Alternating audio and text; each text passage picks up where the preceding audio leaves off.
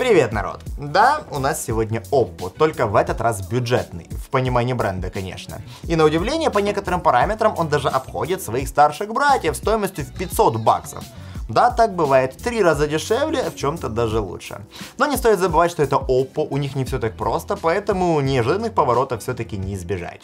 Надеюсь, я вас хоть как-то смог заинтриговать. Усаживайтесь поудобнее, понеслась. Речь идет о смартфоне Oppo A53. Это новый смартфон в уже известной бюджетной серии производителя. Давайте сначала вкратце пробежимся по отличиям в дизайне с предыдущей моделью. Сканер отпечатков пальцев с боковой грани перенесли на заднюю крышку, и это немного странно, но не критично. Все-таки все-таки дело вкуса. Работает, кстати, шустро, как и разблокировка по лицу. С этим проблем нет. Уменьшилась толщина корпуса, но при этом аппарат немного растянули.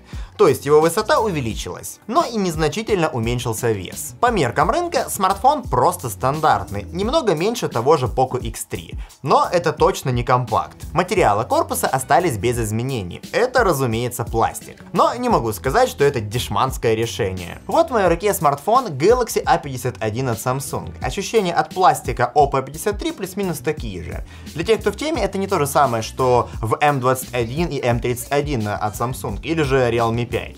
Короче, чтобы не грузить, пластик в Oppo 53 качественный. Фронтальная камера осталась на том же месте, в левом верхнем углу.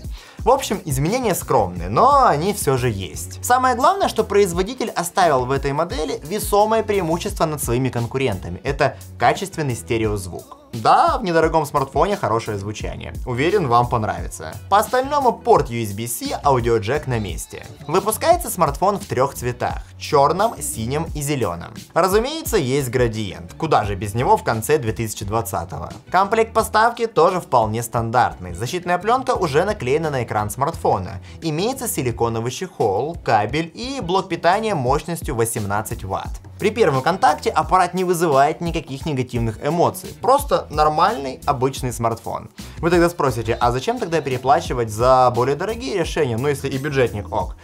Отвечая, на чем все-таки сэкономили. Разрешение дисплея HD+, а не Full HD+, как, допустим, у того же предшественника. И на бумаге, учитывая диагональ 6,43 дюйма, это может вызывать определенные сомнения. Помните, я вам недавно рассказывал о смартфоне Poco M3 и о том, что Xiaomi мешкались э, установить высокую герцовку и низкое разрешение дисплея, либо же наоборот высокое разрешение дисплея и низкую герцовку.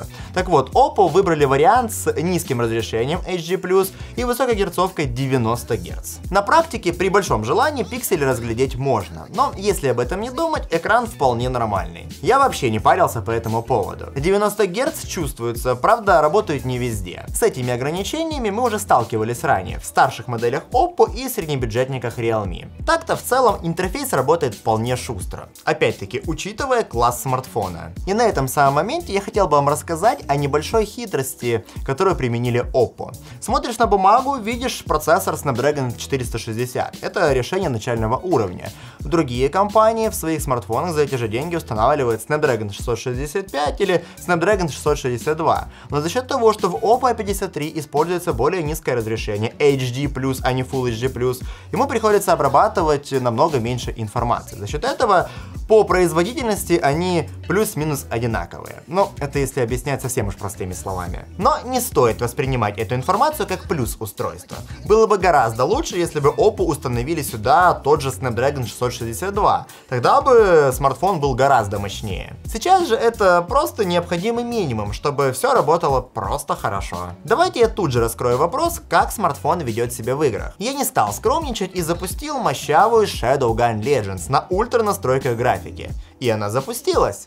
Средний показатель 23 кадра в секунду. Конечно, с таким фреймрейтом играть некомфортно. Просто мне хотелось вам показать, на что способно это железо. Если опустить настройки графики до средних, тогда проблем не будет. То есть, при большом желании, играть можно даже в тяжелые игрушки. Только нужно понимать, чем вы жертвуете. Нагрев корпуса после получаса игры вполне адекватный. Играть комфортно. Еще одна не самая сильная сторона этого смартфона — камера. У меня под рукой не было других бюджетников, поэтому поэтому я вам просто покажу примеры снимков. Днем на экране смартфона все смотрится вполне нормально. Для социальных сетей пойдет. Чтобы запечатлеть какой-то момент жизни, тоже пойдет. Но при кропах видно, что детализация здорово хромает.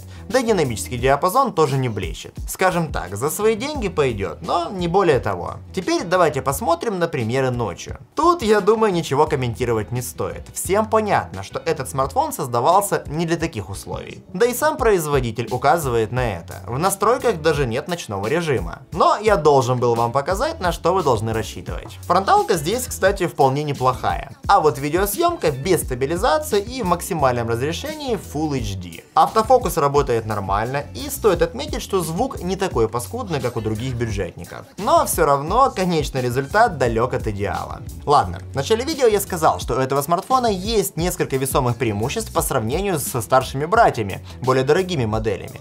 С первым преимуществом мы с вами разобрались, это качественный стереозвук. Второе преимущество это нереальное время автономной работы. Этот аппарат живет как настоящий черт, скорее всего из-за энергоэффективного процессора. Хотя батарейка здесь тоже мощавая, 5000 мАч, согласитесь, это немало. В нашем фирменном тесте он проработал 10 часов 13 минут и занял пятое место из 120. Будьте уверены, что в плане времени автономной работы он вас точно не разочарует. Еще один весомый плюс этого смартфона – наличие модуля NFC с рабочим Google Pay, то есть бесконтактными платежами проблем не будет. И в бюджетном сегменте это здорово. Итого, что мы имеем? Первое. Oppo A53 это стабильно работающий аппарат. Да, он именно такой. За все время было пару моментов, которые меня немного смутили. То есть он работает в основном быстро-быстро, а в какой-то момент Oppo начинает медленнее работать. Непонятно почему. Еще есть вопросы к оперативной памяти. Вроде бы 4 гига. Достаточно, в бюджетном сегменте это прямо хорошо.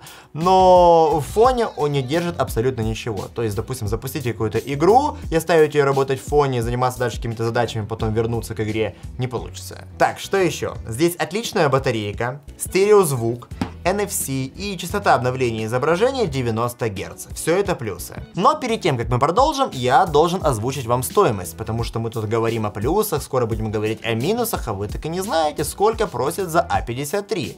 В Украине 5000 гривен за версию 464. Перед вашими глазами появились цены в тенге и в рублях.